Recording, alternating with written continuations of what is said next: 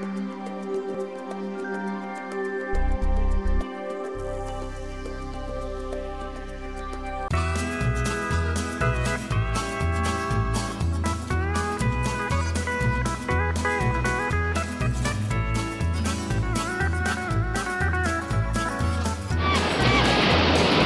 Betty, how are you? I'm good. How are you both? It's such a nice sunny morning. I was actually planning to go fishing in a while. Would you and your friend like to join me? Yes, sure. We would love to go fishing with you. Great! Why don't you and Timmy wait here while I get the fishing rods? Sure, Betty. Timmy and I will wait here. Hey, Timmy, I have an idea. Let's count the number of boats. I bet I will be able to find the correct number of boats. Don't be too sure about that, Amber.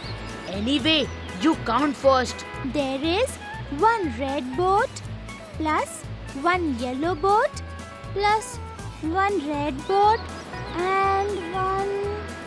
Oh no! I forgot how many yellow and red boats I counted till now. Wait, let me try counting. There are one yellow boat and one red boat and one yellow. Oh, this is very confusing. Hey, what are you guys up to? Betty, we are finding it difficult to count the boards. Can you please help us? I would be glad to. The first step to counting objects easily and quickly is grouping. You can make groups of objects by finding the different kinds of the object you want to count. So, first we need to group the boats. We can make two groups red boats and yellow boats. Okay, so Timmy, you count the number of the red boats and Amber, you count the number of yellow boats. One, two, three, four. Yes, there are four red boats. Now Amber, count the number of yellow boats. One, two, three, four, five. There are. Yes, there are five yellow boats. This table shows that there are four red boats and five yellow boats. Now tell me, is it grouping and counting really simple? Yes, it is. Now let's go and catch some fish. Wow, we have caught so many fish today. Yes, I think we can then sell them in an aquarium. But first, we need to count the number of fish. Timmy and I will count the number of fishes. Yes, we will start with grouping. There are four types of fish catfish, goldfish, rainbow fish, and guppy fish. So, we will make four groups and count the number of fish in each group. You start counting, Amber. Well, I will start with the catfish. One, two, three. Um, Betty, this is really difficult. The four types of fishes are mixed together, and the number of fishes is also quite large.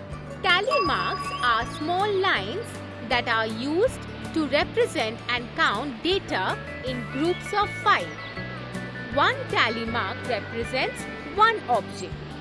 Let me show you how they are used. You have already grouped the fish into four types. So, first I will make a table to show these four groups. One tally mark stands for 1. Two marks stand for 2.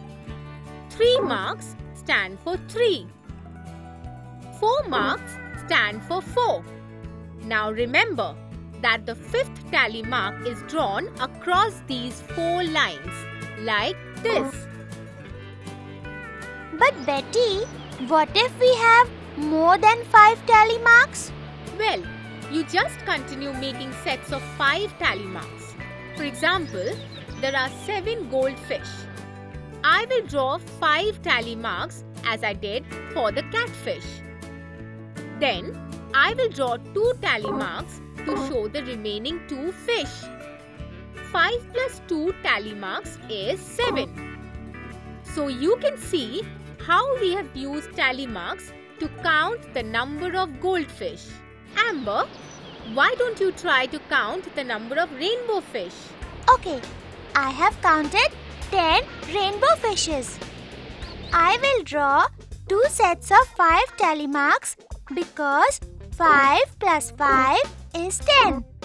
Is that right, Betty? Yes, Amber. Now it's your turn to count the guppy fish, Timmy. Okay, there are 13 guppies. I will draw one more set of 5 marks. There are 3 more fishes.